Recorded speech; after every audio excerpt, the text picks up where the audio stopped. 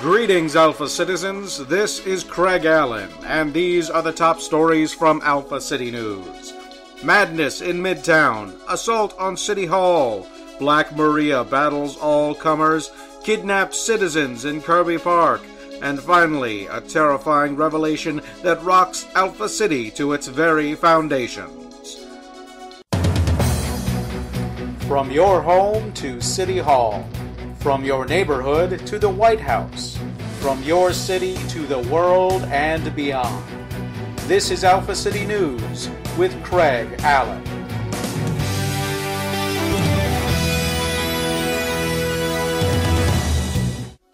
This week's top story is as shocking as any I've covered in all of my years with Alpha City News, Alpha Citizens. It began just before noon this past Thursday at the annual Taste of Alpha City Food Fair, running all week on the Edgeley Commons behind City Hall. As the weekday crowd swelled with the beginning of the lunch hour, full of hungry workers ready to sample normally unavailable delights, panic suddenly descended with the arrival of Black Maria, the Obsidian villainess responsible for a half dozen daring daylight kidnappings in the past few weeks. Almost before her presence registered, Black Maria attacked the food stand operated by Abraham Mazer, owner and head chef of Habitat on Restaurant Row. Much to the surprise of observers, though, Black Maria ignored Mazer, instead absconding with sous chef Michael Allison.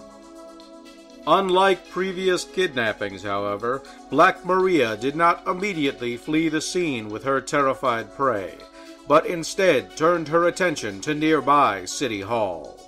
A streak of ebony cut across the clear day as the miscreant, helpless hostage in tow, entered City Hall by crashing through the third floor office window of Deputy Mayor Paul Jenkins. The deputy mayor and his staff were caught by surprise and only escaped through the intervention of Jetpack Jones, attending the food fair, who appeared outside the destroyed window, firing his dual stun guns at Black Maria. The courageous Jones was only able to provide a momentary distraction, though, as Black Maria fired a ball of darkness at the hero, which adhered to Jones, slowly covering him in an obsidian cocoon fouling his jetpack and sending him falling to the ground. Black Maria took no notice of this, continuing her pursuit of the deputy mayor, blasting her way deeper into City Hall, fighting her way through both police and the mayor's personal security team. Black Maria leapt from the third floor rotunda balcony, managing to catch Deputy Mayor Jenkins just before he could escape the building. While she now had both Mr. Jenkins and Mr. Allison in her grip, it seemed like Black Maria was out of luck, for at this point Radiant, A-Flower, and Hardstrike appeared, all of whom had fought Black Maria before. They were joined almost immediately by Jackie Quick, the Queen of Speed. Black Maria was forced to drop her captives, covering each in the nacreous substance which she had used on Jetpack Jones. The light of hope faded quickly, though, as Radiant once again attempted to subdue the new villain without the help of her comrades. Flying in on a solo attack run, Radiant met not success, but the fast moving fist of her enemy, and was thrown insensate into A-Flower, and both were knocked into the northeast rotunda wall. Jackie Quick true to her name, moved in as Black Maria was occupied with Radiant, but found that the Dark Nemesis was ready for her. Ms. Quick threw two punches, but found that both her fists stuck to the inky form in front of her. Turning towards the attacking Hard Strike, Black Maria used the captured speedster as a defense, forcing her to absorb Hard Strike's attack. Shocked by this turn, Hardstrike found himself under attack, with Black Maria's nightmare tentacle gripping him by the head. Flinging the now unconscious Jackie Quick away, Black Maria lifted Hardstrike and slammed him into the marble floor of the rotunda, once, twice, a third time, cracking the stone and sending shivers through the entire building. Seeing that Radiant and A-Flower had managed to regroup, Hard Strike was used once more to slam the attacking Radiant into the floor, crushing her between super tough teammate and unyielding stone floor. Flinging Hard Strike upwards into the fourth floor rotunda balcony, Black Maria turned towards A-Flower. A-Flower found herself facing an onslaught of black energy flung towards her, but managed to avoid every strike, only to be surprised when Black Maria ceased her attack to pick up the deputy mayor and the chef she had cocooned previously. Too late, A-Flower realized that in her wild dance to avoid her enemy's barrage, she had been forced onto the section of floor weakened by Hard Strike, the collapse of which sent the Lady of Peace dropping out of sight. Holding her captives, Black Maria turned towards the still groggy Radiant and, showing no mercy, kicked the heroine through the north door of the rotunda. Radiant's passage shattered the doors and sent any civilians still in the area running for cover. Coming out of City Hall, Black Maria picked up a nearby police car and, shrugging off the ACPD's small arms fire, used it to knock the overwhelmed Radiant across the avenue and into Kirby Park, where she fetched up against the memorial fountain. Setting down Mr. Jenkins and Mr. Allison, Black Maria activated a device on her belt before turning her attention to Radiant once more and commencing a vicious beatdown. Only a half dozen blows had landed, though, before Black Maria found herself faced with a host of arriving heroes. Captain Stupendous, Empyrean, the Odd Squad, the Conundrum Corporation, Ironclad, Jack of all trades, the Bright Man, Mechanical Bill, Punching Judy, and Jackie Quick, Hard Strike, and the now jetpackless Jetpack Jones had gathered to stop the rampaging villain.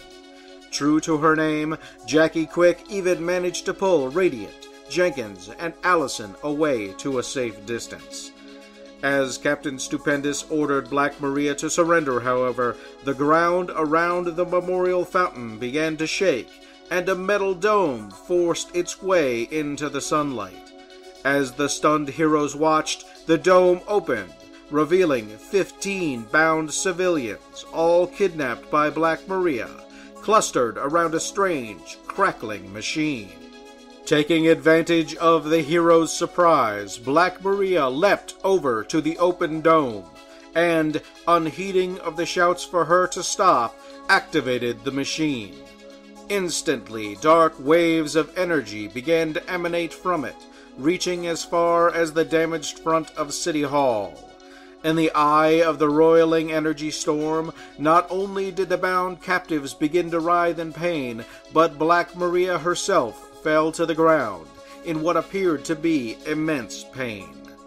The heroes, unaffected but dumbstruck, were further shocked when the fifteen captives began to lose their human shapes, their eyes turning red and their limbs and foreheads elongating, before finally settling into new forms, one familiar to any student of recent history. Fifteen Gatan sat around the machine, and its now unconscious mistress. The Gatan, now in their native forms, broke free of their bonds and immediately commenced an attack upon the gathered heroes, save for five who began to merge into a monstrous multi Gatan. Unbeknownst to the heroes of Alpha City or to any observers on the ground, when the Gatan on the surface were revealed, a group of Gatan battlecraft decloaked in orbit above the city.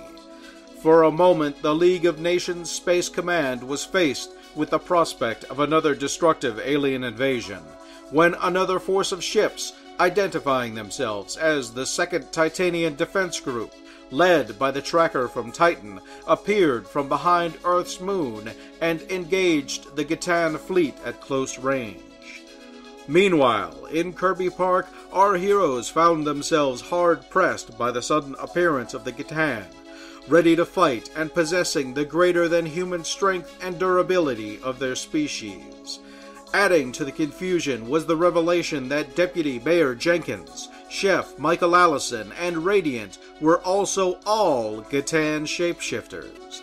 Had not A Flower reappeared at that very moment, using her super combat skills to neutralize Jenkins and Allison, and engaging the foe Radiant, the heroes might have fallen to an attack from the rear. As it was, A Flower proved more than a match for the superpowered alien. The Gitan who had been captive in the sphere, though having the element of surprise, found themselves to be unable to overcome the masked heroes, and most were rendered harmless without even being able to leave the bounds of the park. The one which did escape was relentlessly pursued by both Jackie Quick and Hardstrike, who worked together seamlessly to put the alien off balance and ended up bringing its unconscious form back to the park to join its mates. Empyrean, alerted by the Bright Man to Space Command's warnings about the Gatan fleet, sped into Earth orbit. Meeting Space Cowboy on his way upwards, both heroes arrived at the battle location in time to help the tracker from Titan's ships handily defeat the abortive invasion. The multi Gatan, meanwhile, found itself faced with the might and brilliance of both Captain Stupendous and the Bright Man. Even with five times the strength and durability of a normal alien, already much greater than that of a human, the composite alien was only able to mount a token resistance against the pair, finding itself pummeled by the superfast punches of the captain and unable to defend itself against the effects of the Bright Man's bone shaking vibro cannon. The alien was unable to maintain cohesion and separated into its component bodies, which were subdued without undue effort. All in all, the 15 minute battle, now being referred to as the Second Battle of Kirby Park, ensnared 18 Gatan spies who had replaced humans as a prelude to invading Alpha City. A Flower, who defeated the fake Radiant, accounted for a 19th Gatan, who, disguised as a City Hall guard, had been keeping the replaced humans hostage in an empty office in the basement of City Hall, which A Flower had discovered when she had fallen through the floor of the City Hall rotunda. The question of what caused the invading aliens to move before they were prepared was solved when the Bright Man and Captain Stupendous were able to inspect the unconscious Black Maria. They were shocked to find that upon passing out, the black energy surrounding her had vanished, and that they both recognized the person under the obsidian sheen. It was Radiant, Captain Stupendous confirmed. While she is still unconscious, as best we can tell, Radiant was captured by the Gatan while assisting the Jewel Star League in throwing the Gatan out of our galaxy. It appears that a splinter group left the main retreating Gatan fleet and attempted to mount another invasion of Earth, using one of their own disguised as Radiant and gifted with an approximation of her powers. The real Radiant seems to have been experimented on by infecting her light based powers with black dwarf star energy. She managed to escape just after her doppelganger was sent to Earth and adopted the Black Maria identity to allow her to begin capturing the Gatan who had replaced normal humans. She must have known that to warn the rest of us would have also warned the false Radiant, and could have allowed the shapeshifters to escape capture. Reviewing her actions as Black Maria, it's obvious she only took action against the invaders. She must have set up today's whole sequence of events to make sure that there were enough heroes present to combat the threat when the Gatan were forced back into their normal shape. She did this at some cost to herself, as Anders will explain. At this point, the Bright Man took up the story. The machine she used to force the Gatan out of hiding affected her as much as it did them.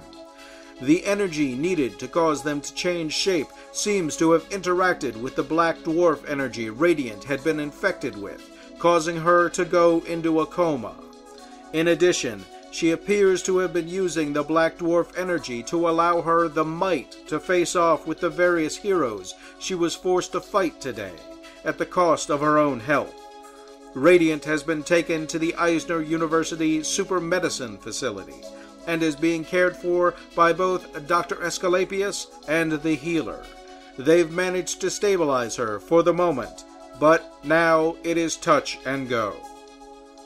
When the remnants of the Gatan fleet were brought down to Earth and turned over to the League of Nations Directory of Science, the tracker from Titan told ACN's intrepid reporter Lindy Johnston that he had been warned of the invasion by a Hero Guild distress signal, apparently sent out by the real Radiant prior to her appearance at the food fair, giving our comrades from Titan time to make the transit from their world to ours and be in place to take the invasion fleet by surprise.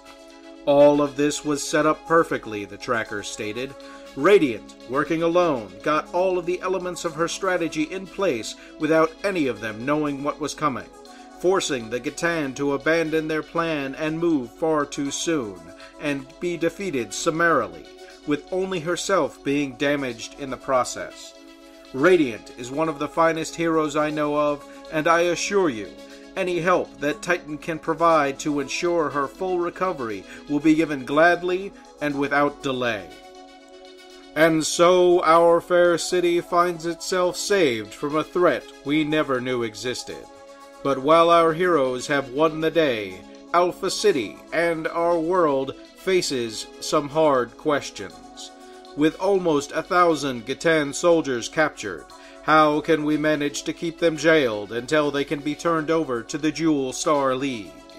With another larger fleet of Gatan ships somewhere out in space, how do we ensure that, should a third attack occur, we are properly prepared? With the League of Nations Directory of Science having received the largest amount of alien technology in its history, how will our civilization be affected by the wonders we will no doubt soon discover? And, having seen one of our best and brightest come frighteningly close to giving her very life to protect us, how do we heal Radiant and honor her properly for all she has done. None of these questions have answers yet, but rest assured, Alpha citizens, that when those answers are found, Alpha City News will be right there to bring them to you.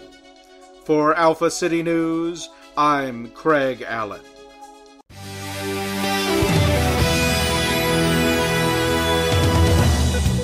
This has been Alpha City News with Craig Allen. Alpha City News is produced by Carter Lee. Sound beds are provided by newsbeds.com.